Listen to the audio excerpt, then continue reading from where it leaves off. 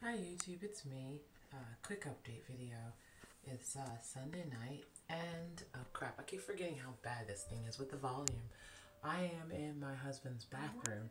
As I am currently a victim of PMS, I've been relegated to the bedroom and its adjoining bathroom. That way I don't have to impede on the enjoyment of others. So that's what I'm doing in here. Uh, got my glasses on and doing the girl chick thing. I am watching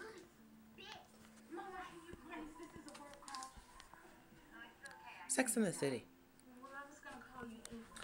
And I have some Dove chocolate bars that I've been eating. And uh, Bazaar, Harper's Bazaar magazine. It's a little fashion in there.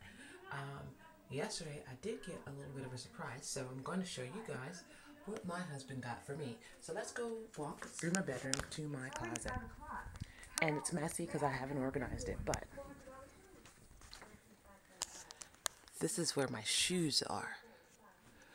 And let's see, do do do, not those, not those, but these are the new babies that I got. Do, do, do. For my sweetie.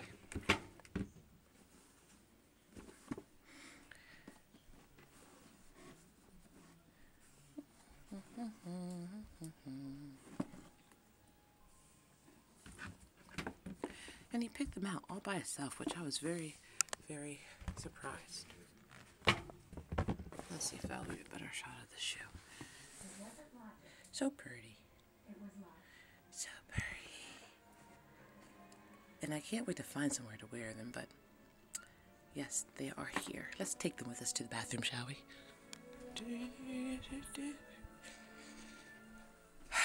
They look better, hmm? In the light. So pretty.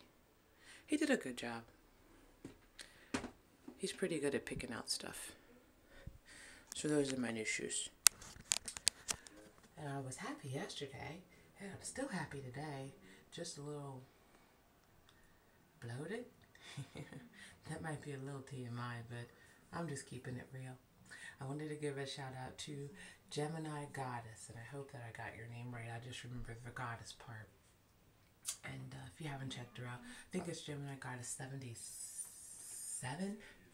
Um, I'm subscribed to her, so if you have a moment, go on and peep her out. She's got some really cool vids. I'm going to wrap this one up. I just wanted to say hi and uh, show you my newest item. And yeah, if you guys have anybody who knows how to organize closets, let me know. Drop their name in the comment box because I need help. All right, I'll talk to you later. Bye.